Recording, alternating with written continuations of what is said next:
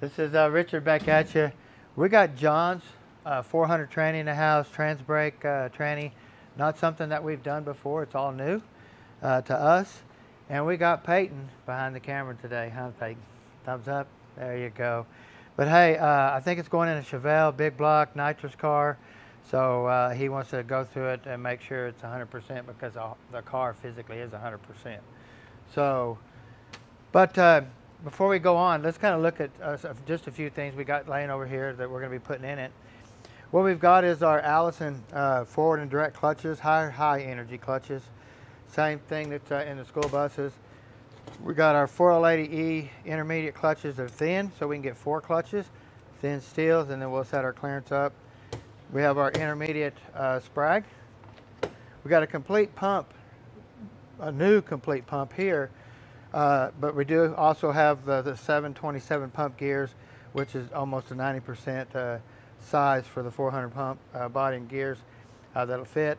And then we have uh, high pressure rings, a must when you run a trans brake or any type of fully manual operation, and full bushing kit every bushing, and of course we have our Trans Star complete gasket set. Now this will come with uh, steel sealing rings, uh, but we won't be using them. We buy the high pressure full ring kit that comes with every seal in it too, so really nice. But anyway, we still got a few more things coming, in the band, um, just uh, intermediate band, stuff like that. So, I mean, or engine brake band, so just a few more things. But let's get this thing apart. One thing about it he didn't like, uh, anytime we cut a bell housing, I'll put an Ultrabell on. Our goal is about 13 thousandths all the way around to here. I can take a feeler gauge. I mean, this bell housing will be 13 thousandths all the way around. If you look here, how bad this has been cut, jagged.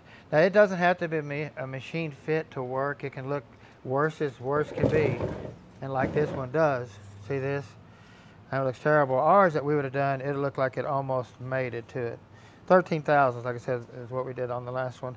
But we're going to try to clean this up and make this look a lot presentable and go from there. So.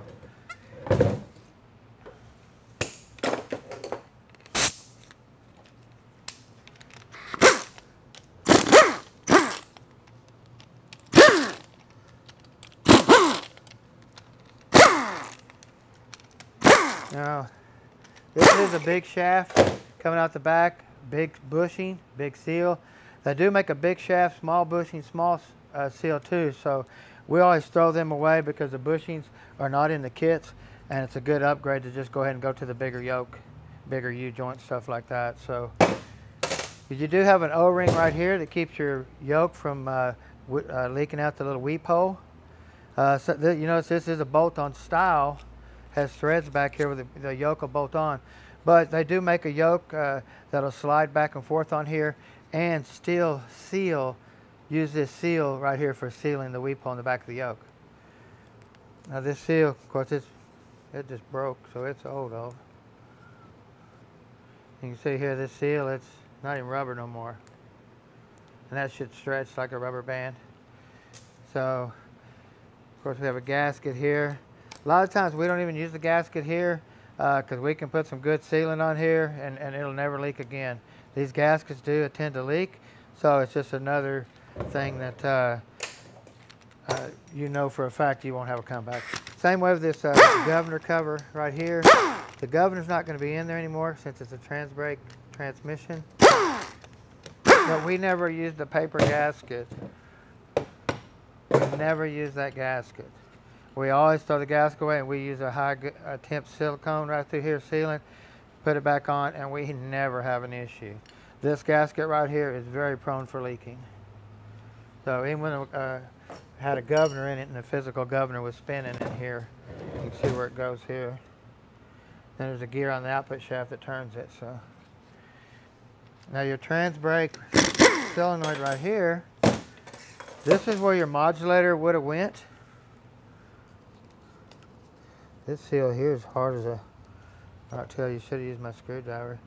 It's not even round no more, just flat. So you definitely need to put a new O-ring on there. Now the valve in here can be spring loaded or it can just be normal. It won't have no spring. I kind of move it. Okay, it's spring loaded. See if I can get my magnet in there to pull it out.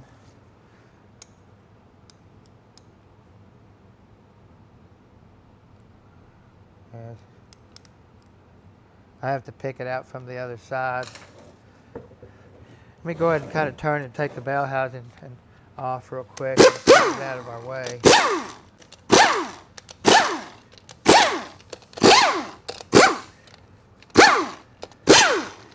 Now this is an 8 bolt style bell housing and pump assembly. You got your bolts that hold it all to the front of the housing here and then you have O-rings here on the end of your bolts.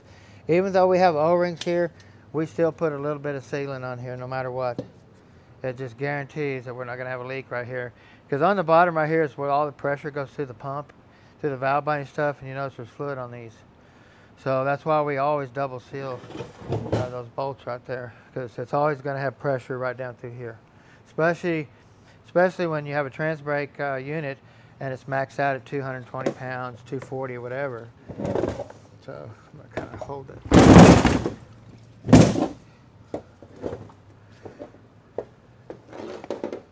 That's pretty red, huh?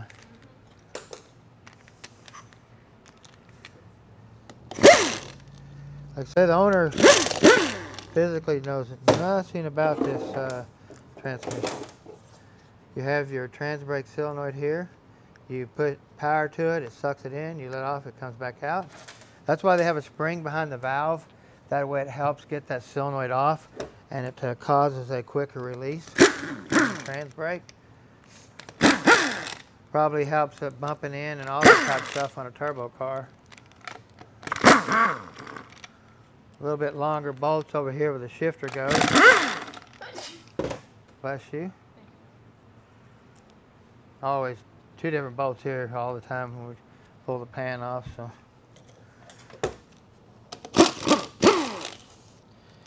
Got a washer on all the bolts.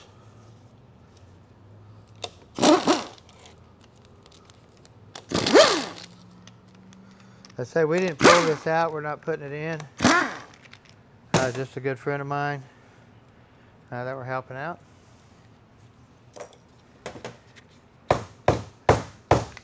All the bolts out. Yep.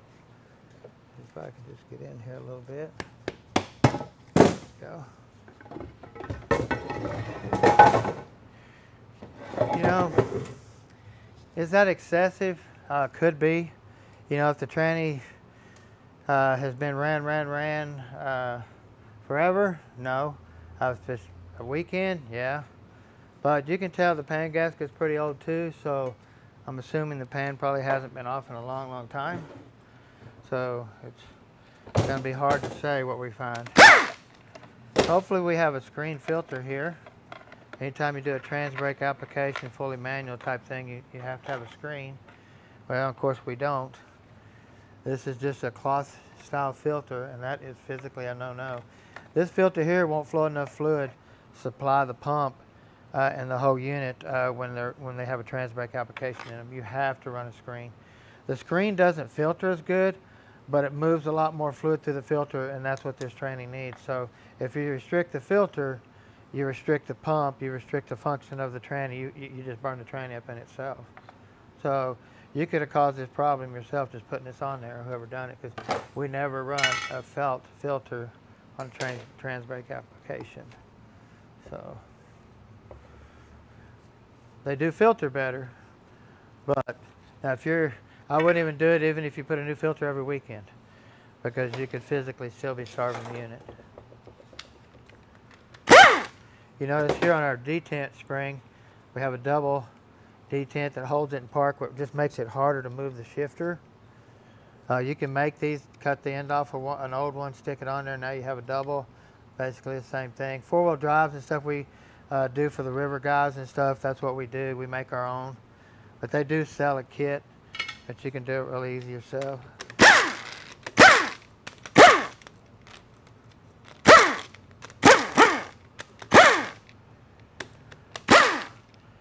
We have all of our half inch bolts here, our half inch socket, excuse me. And Then we have our 7 16 socket here.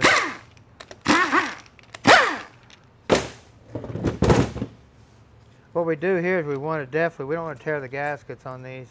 If not, I got to track down the company, find new gaskets and all that type of stuff because a lot of these gaskets uh, don't come off easy and some come off just like that beautiful. So definitely uh, can be reusing that gasket there. Same way with the valve body gasket. They do, they could have an upper and a lower. You know, you just want to look at them. So, looks really nice.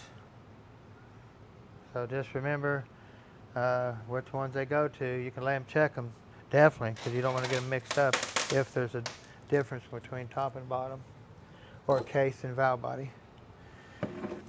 I mean, you can see just a lot of work they do here. They do a lot of channeling stuff. Put this weird screw through here, channeling here. I mean, look at this, a plug here, all this uh, channel work through here. Really neat on how they take these valve bodies and, and make them work. So really, really neat. Of course, you look in here, we have zero check balls, not even in the trough. None at all. Now, on our valve right here, this is where your modulator valve would be normally. This is your trans brake valve because they kind of look the same. Come on out of there. There you go. Okay. And there's that spring I was telling you about that helps that valve uh, push back and release that trans brake. But if you notice right here, if you go get, if we have to recase this right here, this channel right here would be uh, really shallow right through here. You have to come in here and cut this down right through here. You can see how they did it. So you want to be careful not nick any of this through here. So you just cut that out a little bit right there. Pretty simple. Say no check balls.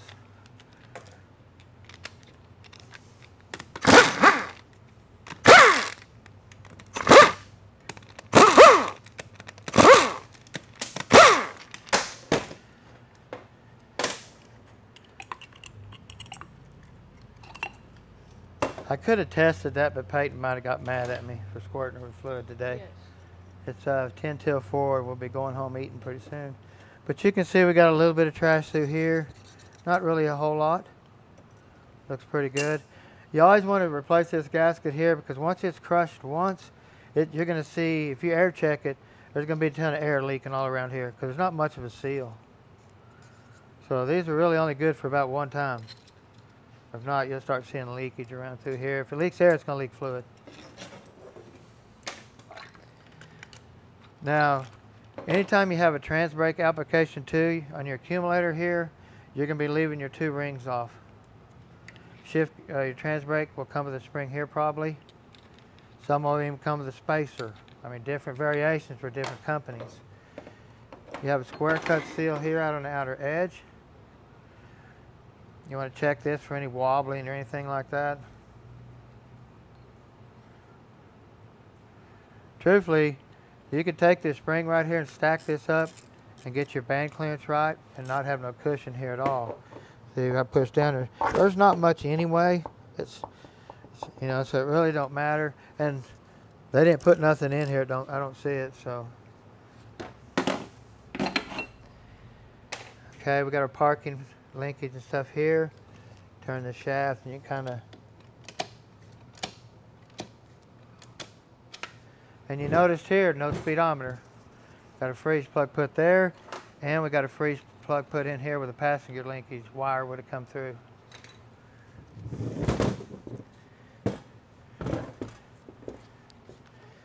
And we have our 12 millimeter bolt right here. These sockets are always kind of tight to get in, the hole right there. So anytime you pull the bolt out, put one in, always flat file right here because you're going to lift this edge. You can see how I did it right there. And that's just from the socket. So once you put the bolt in, flat file it back down. That way you don't have no issues. Your little nail right here. Uh, this thing will fall out when you put the case upside down in the parts washer. All it does is hold the shaft in. And this is the same nail that uh, if you buy a governor gear rebuild kit, those nails are in there. Other than that, I guess you can go to the hardware store and find you something.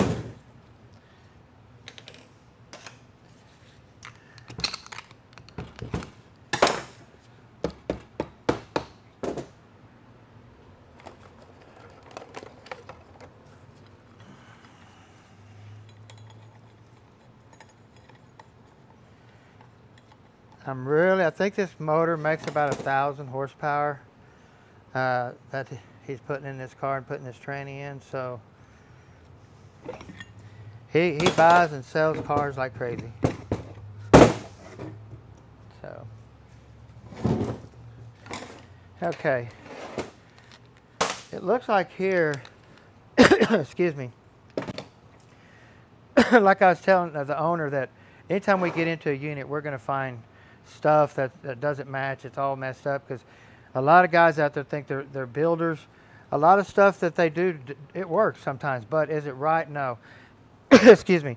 If I put a pressure gauge on this tranny, I'm probably going to be terrified. If you notice, it has a washer, a moon washer here. It looks like a moon washer here, then then the other washer here. This is, looks like a factory spring, a stock spring that they've just shimmed up, shimmed up, shimmed up. So physically, you don't know how much pressure this tranny's got when you start it up.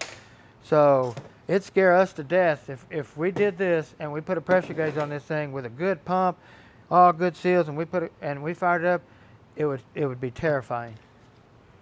So, uh, that, spring does not match this trans brake.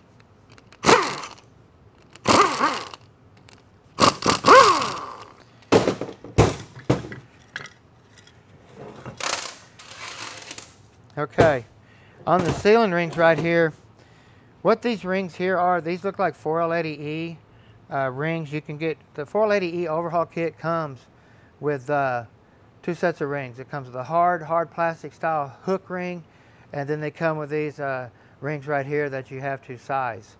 Okay, these do work pretty good. Uh, for high pressure, they're definitely a lot better than the factory steel or the stainless. So, but we're still, we are going to go with the high pressure orange rings, the split rings that we always use. That, we, they, that way uh, that we know that they blow out and seal. If this uh, ring ever gets worn enough, it can start leaking around the outer edge. I mean, all that type of stuff. It, it cannot physically blow out and, and seal. So you get worn bushings or anything like that. Okay, you want to get in here and look for any wear definitely between here and here. Looks really nice here. Scotch bite that up. Now, we do not have a converter feed orifice right here. We've got to put one in here. That way we do not shove uh, the converter uh, forward hard enough to uh, push the main uh, thrust bearing out of the motor.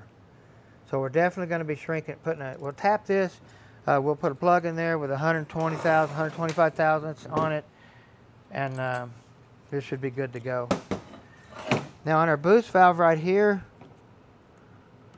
we always want to put a steel one in. We never want to use an aluminum one uh, because aluminum ones just don't hold the pressure. They wear really bad, okay? Okay. So we do have a steel boost valve. That's good. Pressure regulator valve is steel. Got a little bit of wear on it. We can put a new one there. But here we go. When I was talking about spacing up uh, springs, we got two moons, and then we got the factory washer, and then we have the spring, okay? When we do a trans brake uh, transmission, they want you to remove the original uh, U-shaped uh, bracket there and take that off, throw that away, put that back on, put that on like that. When it's a shift kit application, they want you to get rid of the moon looking washers or U-shaped washers, okay? And you're going to put it back in just like that. But the spring's going to be a totally different color. It won't be this factory blue because they, they come out with this color. This is just a cheapo spring that somebody's trying to beef, beef the pressure up and make it work, okay? Now, also, the uh, stator bushing right here on the end. If you have a good converter that's self-centering, we leave this bushing out. I'm going to check. He brought a new transmission specialties torque converter. What did they do with them two converters that was over there? They move they them? Huh? I don't know. Okay, but anyway, we had two converters over there. Uh, one was mine from my car and one was a transmission specialties. But I'm going to check and make sure it's self-centering. If it is, we'll be taking this bushing out leaving it out, and then we'll be replacing this bushing here. Okay. Now we did get a new pump body with gears, just in case the body is no good. These are bad about shoving these gears sideways, getting a lot of play this way. See what this looks like. I mean, you can see it looks really nice through here. Starts fading in right here. You see how it's black, dark here, and then here comes the shiny. And now all the coating's gone. Now we're down metal to metal. There's a lip right there. See that lip? Where this gear has been shoved that direction. So we definitely need to put a new uh, pump body and gears in it. The stator will survive. So that's a plus.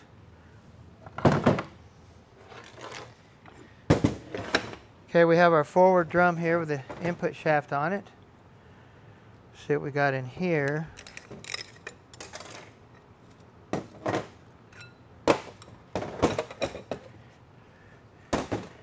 Okay.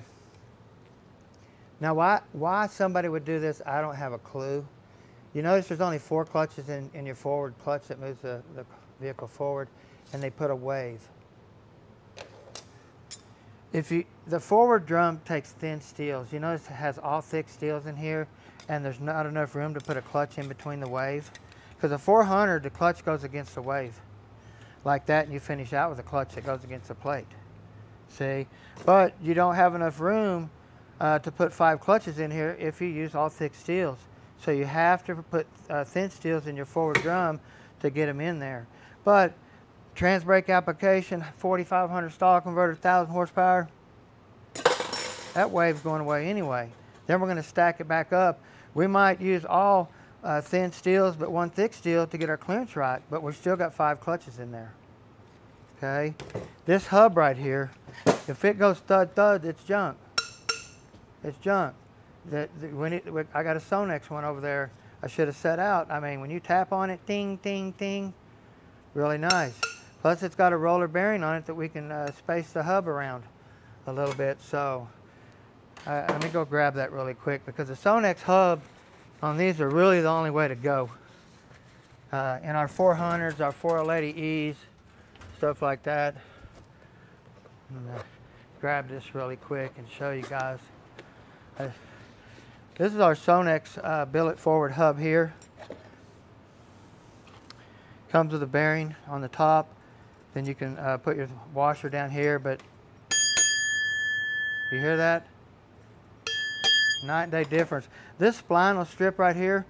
This spline's what moves it, it forward because it splines into the forward clutches. Okay, goes to the intermediate shaft. Okay, so if that strips out, you're done. So you never want to put that in there, especially in a real, real high horsepower application. Okay, guys? Then we're going to get down in here. I'm going to go ahead and bend my nail real quick. I forgot to say that. I just take and bend that up a little bit. That way, when I stand it up in the parts washer, the nail doesn't fall out. I just wanted to show you that real quick. Okay, hopefully we got a nice sprag assembly here. It's got the wrap style uh, lock washer or ring right here. What I do is I put the little opening right there in there. That way this will go in it. Then I can turn it to that there and then this light here will lock in there. Because you, you got to have it lined up here to make it lock and then you can take and turn it. That way the lock is away from the opening right here. Okay. This piece here, you always want to check these tabs. They're bad about stripping where this thing just spins. You can see here what the tabs look like. They're no good. Now also, a 480E and a 400, the outer race right here, the 480E four clutch is, is wider. Uh, the uh, 400 three clutch is thinner. So if you try to use it, when we put four clutches down in here for the intermediate uh, clutch pack, then we could have a clutch hanging off the edge okay? So you always want to make sure you use a wide outer race, okay? And then you want to look at this drum and see what shape it's in. I can tell you I got to get on the phone and get some pieces coming because I, I, think we're really in trouble on this drum here. But you can see this, this uh, drum right here, this race right here is, is just chattered all to death. You see all them chatter marks? I mean, you can feel them with a screwdriver. That's that sprag jumping, trying to lock. And it just finally just beats itself to death.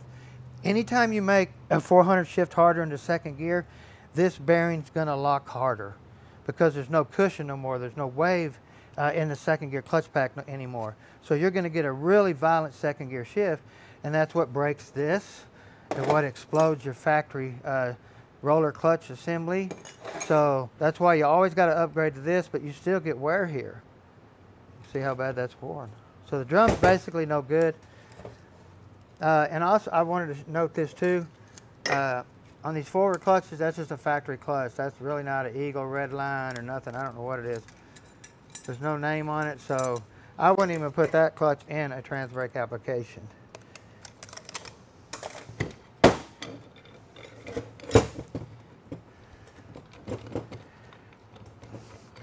Now, let's see what we got here. Okay. Anytime you do a trans brake application, they want you to drill a bleed orifice for a constant bleed. Uh, the, the sealing rings on this stator right here, they always have cross leaks and stuff like that. So they got to allow for spring pressure and bleed off oil to keep this clutch off when it's not supposed to be on when you got this tranny maxed out at 220 pounds, 240 PSI. So they worry about cross leaks. So basically that's why we have that little bleed orifice there. That's really in a little bit different spot than I'm used to. So, oh, but here's the problem. Anytime you build this drum right here, you can only use one check ball. One check ball. You cannot have a check ball in your piston, and you cannot have a check ball in your drum, and you cannot have a bleed orifice. You can't have all these big old leaks like that. Now you can have one check ball, bleed orifice, a piston with no check ball. That's how it works. Or you have a drum with no check ball, a piston with a check ball, and your bleed orifice. But you can't have both. So we're going to see that our high gear clutch right here is probably cooked, and that's probably why, uh, because it just couldn't uh, build enough pressure, holding good clamping pressure, because we had so much bleed on it. You know, the, the check bars, uh, check balls are going to seal eventually, but at 8,000 RPMs, you know, you got that thing's got to seal instantly. There can't be no millisecond uh, for that ball to seal. It's got to seal like right now. So, but you can see here, I mean, it's uh, five clutches. They look like they were uh, Kolene steels or something. But we'll uh, clean this up, put some really nice Allison steels in there, or clutches, excuse me. You can see we do have one metal steel kind of mixed in there for a, trying to see if they had, to see they have a lot of thin steels here they could have used in their forward drum. See? So, setting up clearances on these are really critical. No waves at all though in this. So, throw the drum away, find you a piston with uh, no check ball or a drum with no check ball with a, with a right style race. So. Uh, this, these bushings here, guys, are bad about wearing. Uh, they make two versions of the 480E early, the 480E late, and the 400. The 400 takes this style, 480E early takes this style, 480E late takes the groove style. Do not get them mixed up.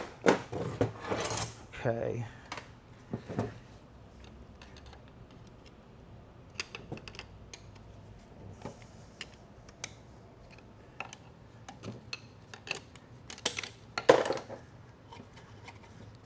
Taking wave plates out of second gear is a big iffy deal.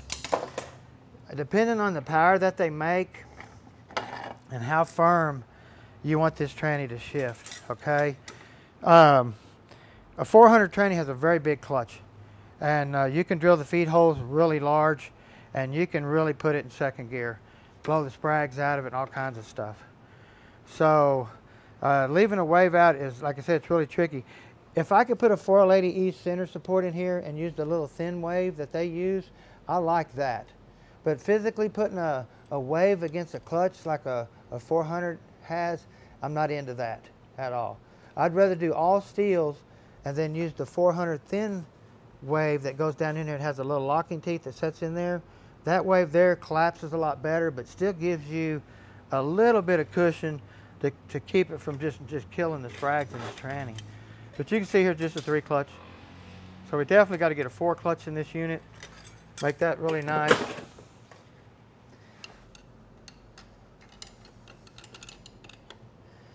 This is a, a, bevel washer right here. It's bevel on the outer edge and flat on the inside.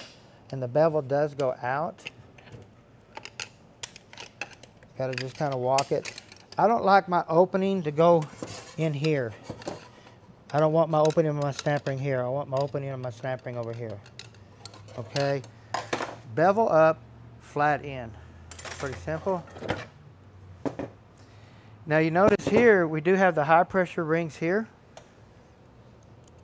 And we leave our inner, the second one down off uh, for our, our third gear clutch apply. Okay. Now on this drum here too, we're going to be leaving, uh, oh, my tool's back there. Uh, we're going to leave all the piston, uh, the seals on the pistons, but we're going to leave the center one out of the drum. When you do that, that's, that's the exact same thing as leaving this O-ring off, or this seal right here off. Okay? If you left it on and left this off, you're doing the same thing, but we like to leave them both off. Okay? But make sure it's the second one down. Okay? You can kind of see here what looks like the drum's been rubbing even a little bit here. So you want to make sure um, you don't have wear down in here, right through here, because this drum sets up off the support and that drum sets up on this intermediate shaft right here, right through here. Let me pull it. It, it, it uh, physically sets right on this edge right here. So sometimes when you're sizing your bushings and stuff, to get them to fit on here, they'll try to hang right here on this edge when you're putting new bushings in here. So you always want to make sure your clearance is right. It's lifting everything uh, towards your center support. Let's see here. Okay, we're going to look here. We want to make sure we have a, uh, a wide support too. Uh, if you have a thin one, it takes a snap ring down in the case right here so the, so the support will set on it. Uh, but this one looks to have a thin, so there's no snap ring. But if we get case wear down in here, what we'll do, we'll go grab a snap ring, put it down in the case down there, and then we'll use a thin support. There's no really benefit to it. Uh, it just lifts the support up a little bit, and uh, it's not got, it ain't just setting down on the bottom of the case down in there. So this bushing right here too is real critical. We have a selective washer right here. The washer kit, these are selective. You can put, I see a lot of guys, uh, now they've already put a bearing here. Let me see if they spaced it. Now they did put a spacer right here. Let me get it out. I don't know if I can.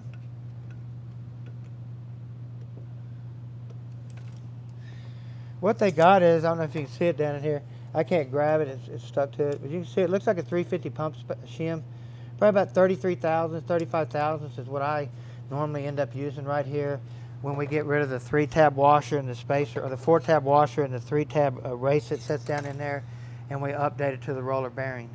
Now, anytime we up, upgrade it to the roller bearing, we like to leave this bushing sticking up just a little bit to where this bearing, that bushing centers that bearing in the case right there. See? Not too much because you don't want it to rub down in here on your uh, output shaft area. Okay? You don't want it rubbing down in here. Okay, we want to look at our band. Band actually looks pretty legit. Looks really nice. You can tell it's a new style. Smooth drum, not grooved. Looks really good. Now we would have also we would have put uh, a brass washer down in here because they make a four tab brass washer you can put down in here too instead of the plastic. Anytime we do a trans brake uh, application, we try to get rid of all the plastic. Okay. Then we have this little lube washer is what I call it. It sets around your lower planet and goes inside your, your upper planet. And to me, it's a seal that keeps this area full of oil, keeps these uh, planets just full of oil. Okay. The metal uh, copper washer is wider than this plastic one, the brass one, so it does give you more area. Now, anytime we do these here, we also come in here and TIG weld the pin on the roller. These pins are bad about sliding out this direction and start shaving the plastic washer. So we eliminate that right off the bat. Uh, 180 grit this, put a new bushing in there. Look at your sun gear. Now, this is a, a two groove style. Uh, the early 480E was a two groove, the later was a four groove. So you got to uh, keep the groove, whatever's in there needs to go back in there, okay? So, are we missing anything? I think we got quite a bit. Now we are going to clean all this up here, get that looking a lot better for him. He- He'll appreciate that, and uh, get this thing uh, back together. I got to get on the phone to Raymond at Transtar really quick and get a drum ordered and stuff like that. So, guys, we appreciate you, Peyton, for recording definitely, and we want to thank you guys for watching. Uh, don't forget to subscribe, hit that notification bell. Uh, we're going fishing Friday, and uh, we'll see you guys in a week after that. But I believe we do have maybe another two videos coming after this one, even. So, y'all stay tuned. Have a great